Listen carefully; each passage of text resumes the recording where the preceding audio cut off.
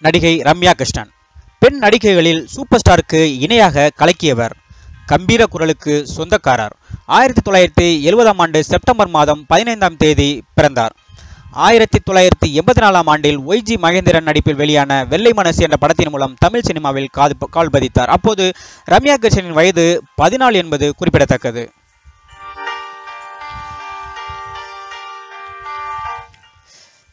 தன்னுடைய இளம் வயதிலேயே சினிமா உலகிற்கு நடிக்க வந்தார். தமிழ் தெலுங்கு கன்னடம் மலையாளம் மற்றும் இந்தி படங்களிலும் நடித்தார். தற்போது ஐம்பதாவது வயதில் அடியெடுத்து வைக்கும் நடிகை ரம்யா கிருஷ்ணன் இதுவரை சுமார் இருநூறு படங்களுக்கு மேல் நடித்துள்ளார்.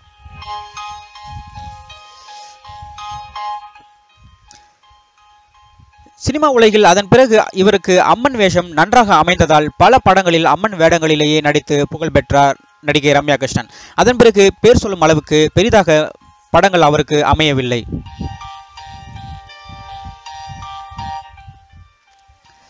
சூப்பர் ஸ்டார் ரஜினிகாந்துடன் நடித்த படையப்பா படத்தின் மூலம் மறு பிரவேசம் எடுத்தார் ரம்யா கிருஷ்ணன். இந்த படத்தில் ரஜினிக்கு இணையாக வேடத்தில் நடித்ததன் மூலம் தமிழ் சினிமா உலகில் புகழ் பெற்றார்.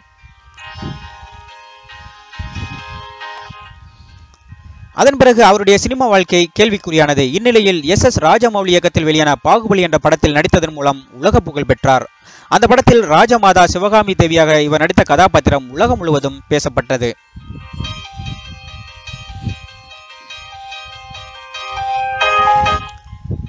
ஆனால் அந்த நல்ல பெயரை தற்போது கெடுத்துக் கொண்டுள்ளார் ரம்யா ரம்யா கிருஷ்ணன் அவர் தற்போது படு கவர்ச்சியாக ஒரு படத்தில் நடித்துள்ளார். இது சில ரசிகர்களை சோகத்திலும் பல ரசிகர்களை சந்தோஷத்திலும் ஆழ்த்தியுள்ளது. குறிப்பிடத்தக்கது.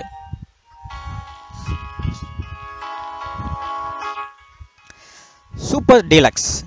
கினோஃபிஸ்ட் நிறுவனத்தின் தயாரிப்பில் தியாகராஜன் குமாரராஜா இயக்கத்தில் மக்கள் செல்வன் விஜய் சேதுபதி நடிக்கும் படம்தான் இந்த சூப்பர் டீலக்ஸ் திரைப்படம். இந்த படத்தில் விஜய் சேதுபதியுடன் ஃபகத் ஃபாசில் சமந்தா ரம்யா கிருஷ்ணன் மிஸ்கின் காயத்ரி பகவதி பெருமாள் விஜய் ராம் நவீன் ஜெயந்த்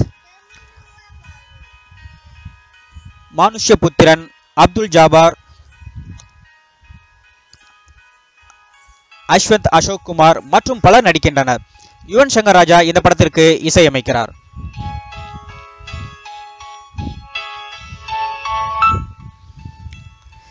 இந்த படத்தில் விஜய் சேதுபதி ஷில்பா என்ற கதாபாத்திரத்திலும் ரம்யா கிருஷ்ணன் லீலா என்ற கதாபாத்திரத்திலும் நடிக்கின்றனர். படத்தில் இவர்கள் பாலியல் தொழில் செய்யும் கதாபாத்திரமாக நடித்திருக்கிறார்கள். குறிப்பாக நடிகை ரம்யா கிருஷ்ணன் படு கவர்ச்சியாக இந்த படத்தில் நடித்திருக்கிறார். குறிப்பிடத்தக்கது.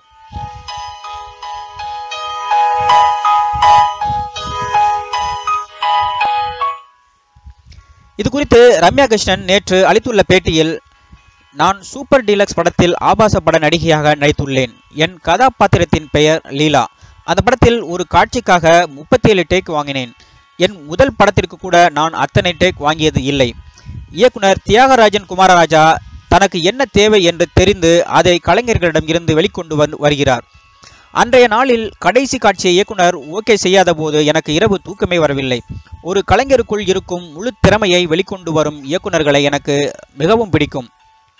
என்னுடைய படங்களில் நான் ஏற்கனவே நடித்த கதாபாத்திரங்களில் மீண்டும் நடிக்க வேண்டாம். ஏதாவது புதிதாக கிடைத்தால் நன்றாக இருக்குமே என்று எதிர்பார்த்த நேரத்தில் சூப்பர் டீலக்ஸ் பட வாய்ப்பு எனக்கு வந்தது. லீலா போன்ற கதாபாத்திரம் அடிக்கடி கிடைக்காது. அதனால்தான் தியாகராஜன் குமாரராஜா கேட்டதும் நான் நடிக்க ஒப்புக்கொண்டேன். இவ்வாறு பேசினார் நடிகை ரம்யா கிருஷ்ணன்